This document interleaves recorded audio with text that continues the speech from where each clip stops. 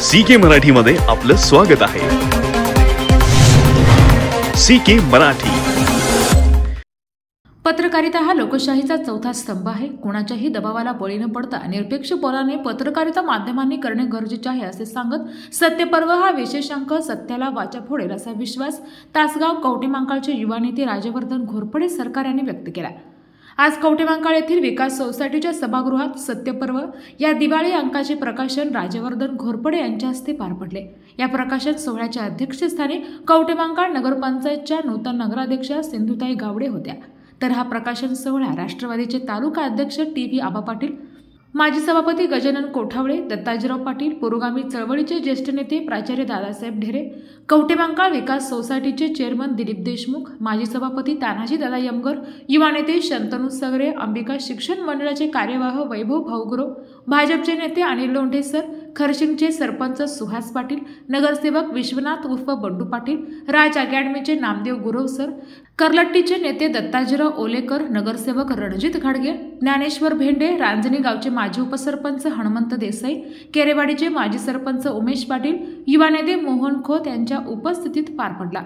या प्रकाशन सोहळ्यात नगराध्यक्षा सिंधुताई गावडे टी व्ही आबा पाटील प्राचार्य दादासाहेब ढेरे माजी सभापती गजानन कोठावळे यांनी जनतेच्या प्रश्नासाठी पत्रकारिता असावी असे मत व्यक्त करीत सत्यपर्व अंकास शुभेच्छा दिल्या व तालुक्याच्या विकासासाठी राजकीय गटतट विसरून काम करणे गरजेचे असल्याचे सांगितले.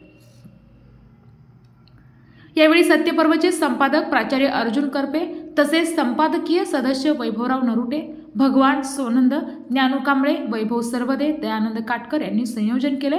तसेच अमोल माने नवा मलमे शैलेश आटपाडकर अमोल तोरवे अमित कांबळे प्रकाश जगताप बाळासाहेब ओलेकर प्रल्हाद सूर्यवंशी सुनील पाटील सुभाष गिटे हंबीराव गिटे अमित शिंत्रे सौरभ पाटील अनिकेत इरळे किशोर गुजले अक्षय यादव अक्षय खांडेकर सौरभ उतरे रोहित मासाळ कुबेर पाटील पिट्टू ओलेकर केशव पाटोळे यांच्यासह शेकडो युवक उपस्थित होते.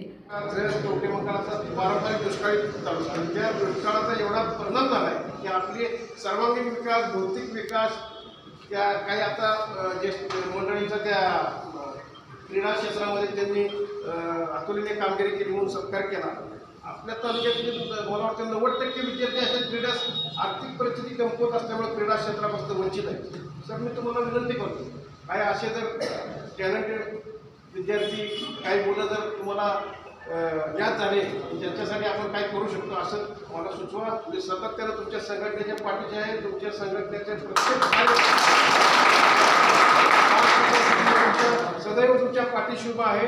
आणि संघटन कसं असावं? आजच्या काळामध्ये हे अर्जुन सरांकडे शिकलं पाहिजे. प्रत्येक गावामध्ये वेगळं संघटन त्यांनी तयार केले. प्रत्येक गावात वाढीवस्तूवर त्यांचं जिथंपर्यंत पोचू शकतील त्यांच्या कृतीप्रमाणे ते पोचतात त्या लोकांना आपलेसं करतात. आणि त्यांचे प्रश्न येतात या ठिकाणी मांडण्याचा प्रयत्न करतात. मगाशी जसं गजानन काकांनी सांगितलं गोष्ट खरी आहे. आज आंदोलन करायला ते आपला कुठला हायवे जातात रोज येतात आमच्या गावात आज त्या लोकांना सांगतात आर्थिक पैसे कमी द्यायला लागलेत. आणि एवढे आणि त्यातले निम्मे वाचून मुंबई दुसऱ्यालाच भेटून जातात. तर सांगायचा विषय असा आहे त्या त्यामुळे मला भेटले परवा आमची तर जाताना कसं थांबले मी गावात होतो म्हणून भेटले. चर्चा झाली आमची. तर त्यांनी सांगितलं आंदोलन जे काय होणार आहे इथनं कवटेमंगळापासून सोलापूरपर्यंत फुल रिस्पॉन्स आहे. तिथनं पुढं कोल्हापूरपर्यंत काही रिस्पॉन्स नाही. त्या लोकांची पोटं भरलेली आहेत तृप्त झालेली आहेत त्यामुळे हे जण आंदोलनाला येत नाही सांगायचं उद्दिष्ट एवढाच. जो गरजू असतो खऱ्या आता गरज असते. आणि जे प्रश्न उपस्थित केले जातात त्या गरजूपोटी तीच लोक आंदोलनात सहभागी होत असतात. तिने स्पष्ट सांगितलं इथं पुढं काय विषय नाही कोण भेटायला तर अशा पद्धतीने सरांनी संघटन कौशल्य त्यांचं दाखवून वाढी वस्तीपर्यंत संघटन पोहोचवायचं काम या ठिकाणी या तालुक्यामध्ये केलं आहे निश्चितपणानं त्याचा चांगला परिणाम त्याच्या या संघटनेच्या लोकांना त्याचा निश्चितपणे लाभ होईल. मग अशी आव्हाने उपस्थित केला रोजगाराचा प्रश्न सरांनी पण मांडला. या ठिकाणी आपलं कारखान्याचं पण आता सुरू होणारच आहे. कारण ते केंद्र सरकारचं धोरण इथेनॉलला पूरक असल्यामुळे थोडंसं ते प्रोजेक्ट बदलून आणायला वेळ गेला. त्या माध्यमातून असो किंवा अजून काही या तरुणांना मी आज सांगतो कुठलाही तुम्ही रोजगार करायचा असेल तुम्हाला आज जर रोजगार करायला गेलं टाका बँकमध्ये पैसे घ्यायचा पैसेच तुम्ही बँकेमध्ये जाते माझ्याकडे खिशात पैसे मी खिशात बँकेचं आणि ज्याच्याकडे पैसे आहेत त्याला किती द्यावं? आणि जो खरा गरजूवंत आहे त्याला माझं पंचवीस टक्के आहे का तर तरुणांना मी सांगू इच्छितो तुम्ही कुठलाही धंदा करू इच्छित असाल. तुम्हाला बँक पंच्याहत्तर टक्के पैसे देईल पंचवीस टक्केसाठी जे काही थोडंसं भांडवल कमी पडेल त्याची पूर्तता करण्याचं काम आपण आपल्या अजितराव अर्बन संस्थेमार्फत करतोय केलं दर आठवड्याला दोनशे ते हा सरांची माझी पण चर्चा झाली सरांनी पण सरांना पण मी सुचवलं होतं सर म्हणजे असे काही उद्योजक आहेत की जे धंदा करू इच्छित टॅलेंटेड आहेत कुठंतरी काम केले त्यांनी पाच दहा वर्ष त्या पद्धतीचं सेटअप इथं करू इच्छितात त्या लोकांना पूर्णपणे सर तुमच्या संघटनेशी निगडीत असो नसो तुमच्याशी संबंधित असो पूर्णपणे त्यांना मदत करून त्यांच्या पाठीशी आज संघटनेची खरी गरज आहे. आज समाजात काही विकृती अशा निर्माण झालेल्या आहेत आबा की तुम्ही एकटं कोण देऊ शकत नाही. तुमच्या मागे जर संघटन असेल तर तुमचा आवाज ऐकला जातो.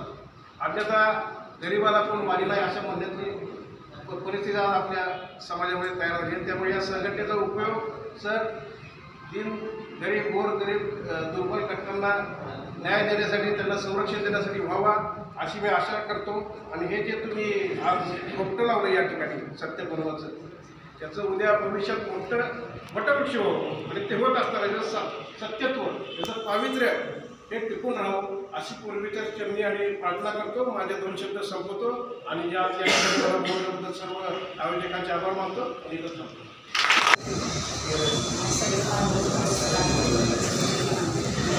सगळे मान्यता सत्य खरोखर निघून यावं आमच्यापर्यंत पोहोचावं आम्हाला सत्य कळत नाही. जे ते सांगते आम्ही तीच ऐकतो पण सत्य काय असतं ते खरोखर कळत नसते पण हे तुमच्या लेखणीच्या मार्गाला मार्गदर्शनातून सगळ्यांना मिळेल.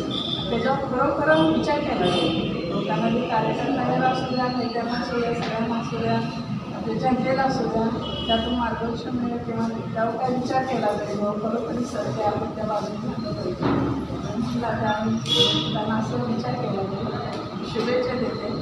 नेता. पाटील आबा माजी झेडपी सदस्य अजयराव पाटील. या विकास सोसायटी चेअरमन.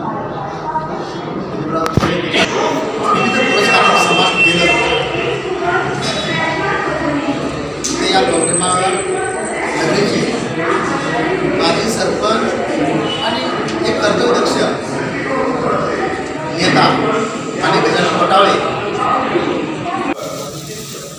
या दिवाळीच्या पहिल्या अंकाच्या प्रकाशनाच्या निमित्तानं उपस्थित असलेले त्या तालुक्याचे युवा नेते राजवर्धन घोरपडे सरकार या शहराच्या प्रथम नागरिक नगराध्यक्षा सो मावडेताई या शहराचे नेते आदरणीय गजानन काका त्यांना या प्रयत्नाच्या निमित्तानं आम्ही शुभेच्छाच देतो. त्यांनी आत्ताच व्यक्त केलं की मी एक साप्ताहिक सुरू करतोय. आज देशामध्ये लोकशाहीचे जे स्तंभ आहेत. ते निघळून पडतात का काय अशी वाटायची परिस्थिती निर्माण झालेली आहे. आज न्याय व्यवस्था आपल्याला न्याय मिळतोय का निर्णय मिळतोय? आपल्याला न्याय मिळतोय असं वाटायलाच तयार नाही. आपल्याला फक्त निर्णय मिळतोय असंच वाटायला लागलेलं आहे. या पत्रकारितेमध्ये आपल्याला काही आशाच राहिली असं वाटायला लागलंय. आपण काही चॅनल बघतो रवीश कुमार सारखे जे काही पत्रकार आहेत त्यांना आपण काही लोक फॉलो करतो. त्यांना आज ते देशाच्या माननीय पंतप्रधानांना गेली आठ वर्ष मुलाखत मागतायत. पण त्यांचं धाडस होत नाही की त्याला मुलाखत द्यायचं. आज पत्रकारितेमध्ये काही चॅनल्स तयार झालेले आहेत. आज मला वाटते दी वायरसारखं एक चॅनल आहे. किंवा आपले वानखेडे म्हणून एक जे पत्रकार आहेत दिल्लीमधून जे आज आपलं वार्तांकन करतात असे काही पत्रकार राहिलेले आहेत की जे निर्भयपणे या देशातल्या जे काही चाललेलं आहे ते मांडत आहेत आत्ता मगाशी यांनी सांगितलं की मी रोजगारासाठी मेळावा केला.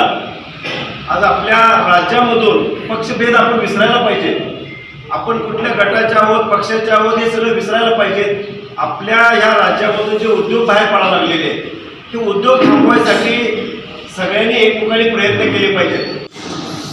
बाळराजे या नगरीच्या नगराध्यक्षा सौ गावडे मॅडम आमचे मित्र दत्ताजी पाटील टप्पे हे आमचे मित्रही आहेत आणि पत्रकारही आहेत. पण पत्रकार कसा असावं हे आजपर्यंत मी पाहत आलो आहे कारण सत्य जे असते ते आजपर्यंत आणि नावही तिने तेच दिलं सत्यपर्व कारण पत्रकारिता करत असताना बऱ्याच ठिकाणी आणि पुस्तक काढत असताना दिवाळ्यांचं म्हणजे आम्ही वाचतच नाही आणि बघत पण नाही. कारण एक धंदा चालला आहे कारण जाहिरात घ्यायच्या आणि त्यातून पैसे मिळवायचे. पण आज त्यांचे जर अंक आणि लेख जर बैठले तर तिने शोधून काढलेले आहे तर वास्तविक एक एक बैठलं. आज की बाबा दगडं फोडणाऱ्याच्या बोटाला जन्माला येऊन दगडं फोडून बी वाय एस पी करायचं की शोधून काढलेलं आहे. तसेच आज सिंदूरचा लक्ष्मण क्रांतिशील नाना पाटलांनी आपल्या जिल्ह्यात जसं नाव केलं महाराष्ट्राचं नाव केलं तसंच त्यांनी कर्नाटकमध्ये केलंय. राहत्यात महाराष्ट्रात. सिंदूरला मी जाऊन आलो. सी के मराठी न्यूज मुख्य संपादक चंद्रकांत खरात कवठे मंगाळ